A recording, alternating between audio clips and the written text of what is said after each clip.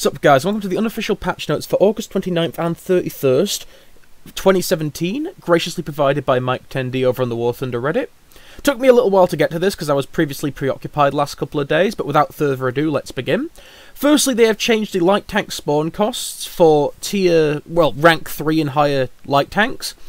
Specifically, the M24 Chaffee, the M24 Thunder League Chaffee, the Japanese Chaffee, the PT-76. All four of those tanks have had their spawn point reduction by 50%, which I think is pretty good. The M24 Chaffies just aren't very good in my own opinion. At least in RB and Arcade. They're okay in Sim, but all in all, I'd rather be driving something else for where it sits, because it has the same gun as a Sherman, and it's just overall about comparable to a Sherman.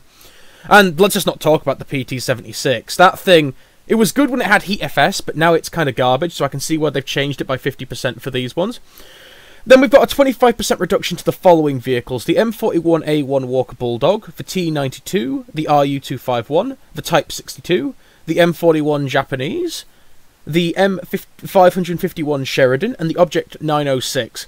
Now, for these tanks, they're all just kind of meh. The main reason people have lowered them is because, all in all, except for the RU251 and probably the Object 906, they're not particularly viable in their BR bracket. I've just been grinding through the Type 62, and I'm lucky if I go even with it. I think my KD something like 112 to 120 something at the time of this post, and the reason behind it is most of these tanks don't have a gun that can kill what they see frontally, the exceptions being the Sheridan, the Object 906, and the RU251 effectively, I mean. So, for example, in my Type 62, if I run around a corner and I see a Tiger 2, I'm just like, well, fuck my life. You know, it's just like Papa Roach just starts blaring. Because I can't kill that thing frontally. My Heat FS shell is just garbage. And odds are I'm not going to have it loaded at the time, so I'm going to have about 159 mils a pen, which is going to do jack shit. So, all in all, I like this change. It means I have more incentive to bring out a light tank as a secondary, and it stops people getting stuck with tank hunting SPAAs if they don't want to use that. The second change is to World War II mode. It appears that uh, they have created the option for battle groups, so now if you're playing World War II mode, you can have a five-man squad.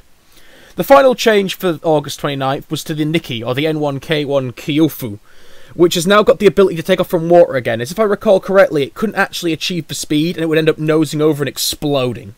So this is an all-around good change for the N1K1. All in all, the big change here was the light tanks. Moving on to the second, for the 31st, they have added new text regarding the Hurricane Mark 1L. Currently in game, it is called the Hurricane Mark 1 late in the files, so this dictates that we may be getting a new variant of the Hurricane Mark 1, just like we got with the Focke-Wulf 190A5 a couple of patches back.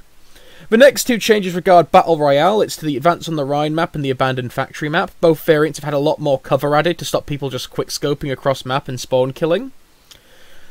Next, they've added personal unlocks, which currently we do not know what that is, but it has been added. I'm assuming it may have something to do with the recently announced war bond changes, but we'll have to see.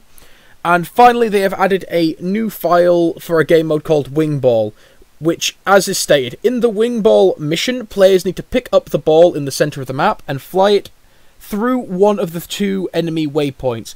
A goal to the end waypoint will bring two points or more, uh, two times more points.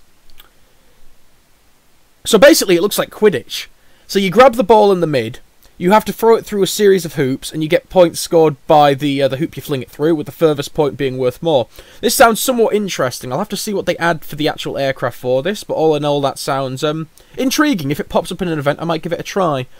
So all in all, the big thing is the light tank changes. Uh, they've reduced cost on uh, basically the more crappy light tanks, and uh, for some reason the RU251. Maybe they're going to up tier the RU251 in the coming uh, rank 6, but we'll have to see. And just to throw in one last thing, at the time of doing this video, they just announced a new map, Emperor's Garden, which appears to be sort of an arcade-style map where it's pretty compacted, and it's centered around this large pagoda. So, from the looks of the 3D vision, it's basically, this is the center point of the map, and you can sort of rove in the outfields, and there must be like a town or two out there. If anything, it reminds me sort of like the um, maps, you know, where they have a large town in the middle and just wilderness around it. And only idiots go mid, unless you're in like something like the T92. Uh, no, the T95, in which case you rush mid and just pray to God no one has Heat FS. Or Hesh. So all in all, it's just another fucking arcade map. Probably going to be about the same size as um, what's it called? Abandoned Factory, as I call it, Zavod 311 from Battlefield 4. Either way, like, comment, do all that good stuff down below. Are you happy they've reduced spawn points for light tanks and all that stuff? Either way, keep on gaming and have a good one.